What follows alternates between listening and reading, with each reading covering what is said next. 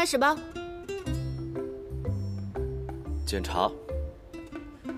二零二一年五月二十三日十八时三十二分至三十八分，本人秦东海于弗洛拉集团第一工厂的二号冷库内，在未经说重点。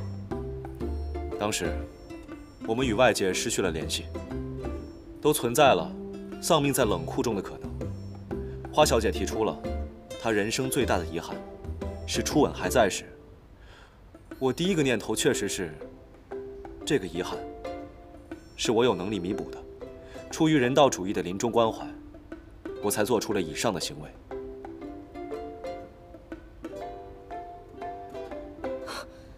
占便宜让你输的这么大义凛然，我是不是还得给你颁个奖啊？我没有想占便宜。如果你的临终心愿不是初吻，而是想找一个人打一顿，我也是义不容辞的。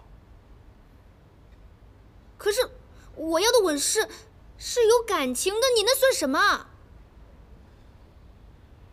我与花小姐之间，首先是师生之情，其次是朋友之意，而更重要的是，这段时间，花小姐一直积极配合，帮助我治疗失眠，是对我有恩的。所以，我进行了深刻的自我批判：我为什么不能像花小姐为我治疗失眠一样，而给她一个出于人道主义、临终关怀的吻呢？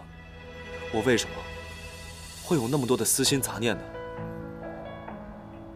我忽然就找到了吻花小姐的感情基础。我的天哪！你这是什么类比啊？睡觉能和接吻一样吗？还有什么人道主义？我不懂。我仔细的回忆过，这两者的相同点在于，我的心跳会加快。体温会偏高，有一种身体不被大脑控制，理性被感性打败的感觉。这不就是叫情不自禁？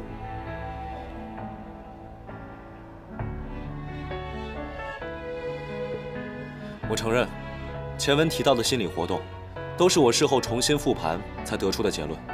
在那个当下，我其实又出现了。让自己理解不了的生理反应，但我当时就只想保护花小姐，实现她所有的愿望，能让她有活下来的动力和希望。为此，付出我自己的生命，我也在所不惜。更何况，只是一个吻。我反复拷问过自己的内心，我承认，我的意志力非常的薄弱，我没有考虑到后果。没有规范好自己的行为，给大家造成了困扰。今后，我一定会尊重女性，恪守礼貌，绝对不会再做出越矩的行为。检讨人，秦东海。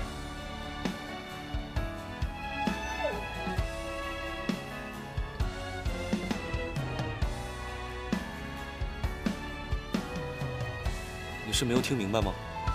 我可以再读一遍，真心诚意的，我可以再读一遍。呃，不，不用。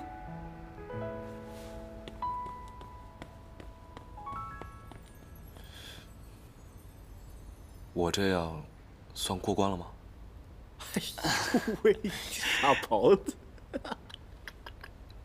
钢铁直男